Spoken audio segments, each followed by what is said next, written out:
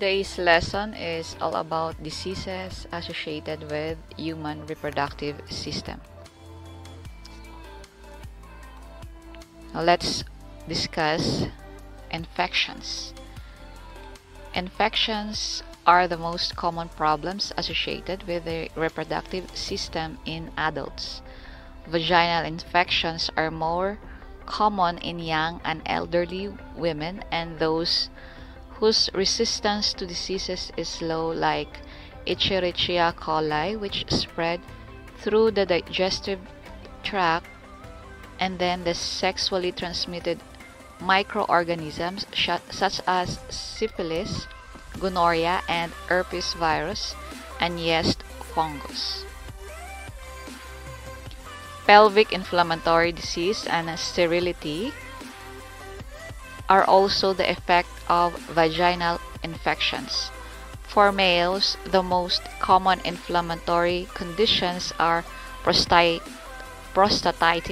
urethritis, and epididymitis, STD, and orchiditis.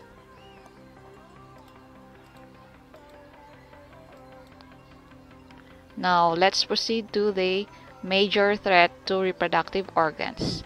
The first one is neoplasms. Then, the tumor of the breast and cervix cancers in adult females and prostate cancer in adult males. So neoplasm is another term is the tumor. So there are two kinds of tumor, the benign or uh, and malignant. So benign means it, it is non-cancerous. Now most women hit the highest point of their reproductive abilities in their late 20s. Example, irregular ovulation and shorter menstrual periods and this is what's called as the menopausal period.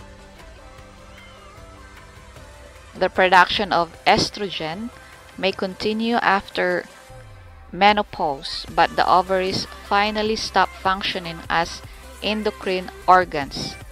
The reproductive organ and breast begin to atrophy or shrink if estrogen is no longer released from the body.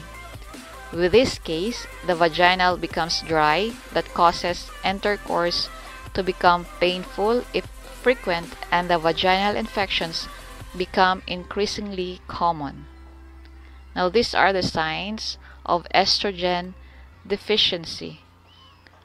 The first one is irritability and mood changes or sometimes it may cause to uh, depression. Second is intense vasodilation of the skin's blood vessel. Next is gradual thinning of skin then loss of bone mass.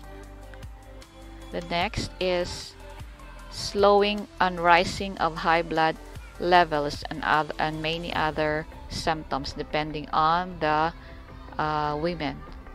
And then we must take note that there is no counterpart for menopause in males.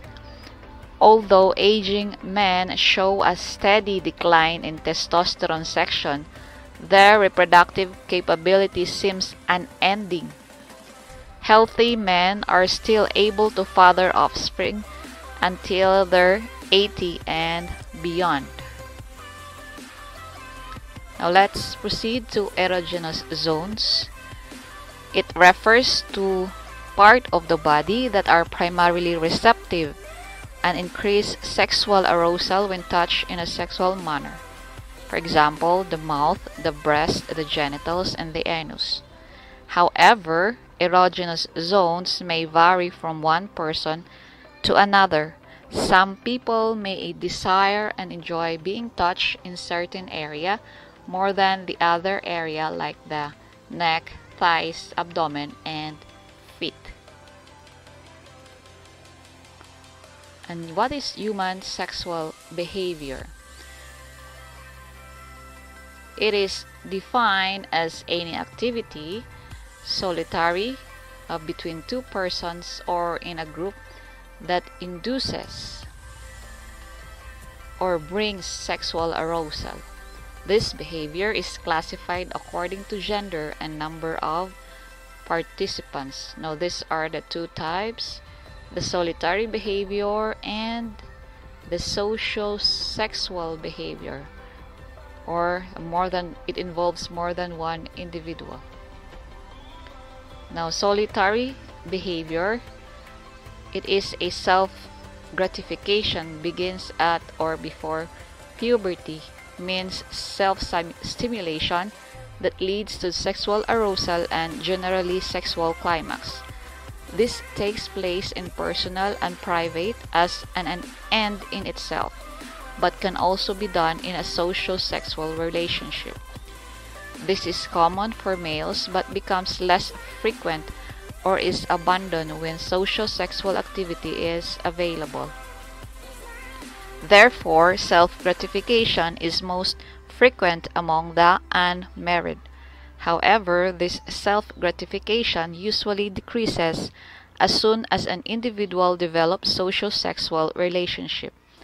Nowadays, humans are frequently being exposed to sexual stimuli, especially from advertising and social media.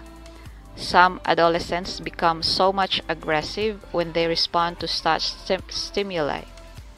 The rate of teenage pregnancy is recently increasing. The challenge is to develop self-control so that to balance suppression and free expression. Why?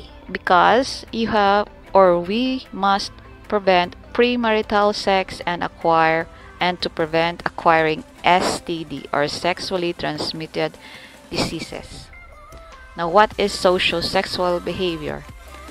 It is the greatest amount of social sexual behavior that occurs between uh, only one male and one female. This usually begins in childhood and may be motivated by curiosity, such as showing or examining genitalia.